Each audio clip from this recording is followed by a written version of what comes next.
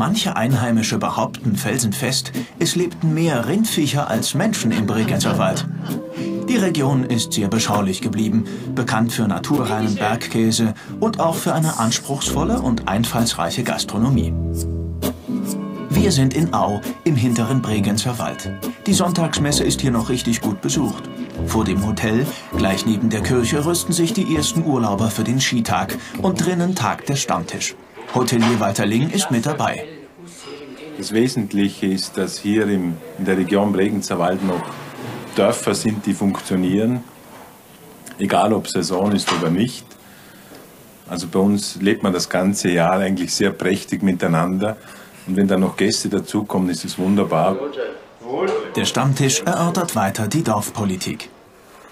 Und noch einmal und drehen. Und draußen beginnt der Skibetrieb. Skilehrer Werner Geiger ist mit einer Anfängergruppe unterwegs, direkt auf der Dorfwiese. Ganz ohne Hektik und ohne Gedränge. Schön parallel. Jawohl. Der Gas ist nicht die Nummer, sondern das ist einfach die Ulrike äh, und das ist der Dennis. Und das ist einfach nur das Schöne eigentlich daran.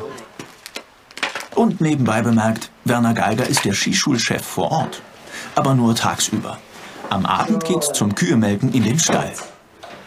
Gehen wir sie an. Er mag beide Arbeiten. Aber was ist denn nun anstrengender? Ja, Skikurs ist schon anstrengender. Die Kühe machen immer, was der Bauer will. Doch auch Rosi und Leni wollen gut behandelt werden. Dann geben sie mehr Milch. Der 53-Jährige bringt sie selbst jeden Abend in die Dorfsennerei, wo der bekannte Bregenzer Wälder Bergkäse hergestellt wird. Für seinen Käse und die gemütlichen Gasthäuser, dafür ist die Region bekannt. Ein typisches Beispiel ist dieses Hotel.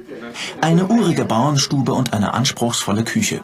Traditionelles wird mit modernen Rezepten kombiniert. Auch wenn es nicht danach aussieht, dies ist eine Art Jagdausflug. Und Jagdhündin Akira will selbstverständlich nichts verpassen. Melchior Beer und Helmut Feuerstein auf dem Weg zur Rotwildfütterung. Bei dem Tumult lässt sich natürlich kein Hirsch blicken im Revier. Doch dann passiert etwas. Da oben sind ein Rehbock und zwei Riesen da oben. In der Schneiße da.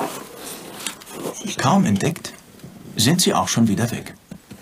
Vielleicht lassen sich die Hirsche so anlocken. Mit dem sogenannten Hirschruf. Na, hoffentlich klappt's.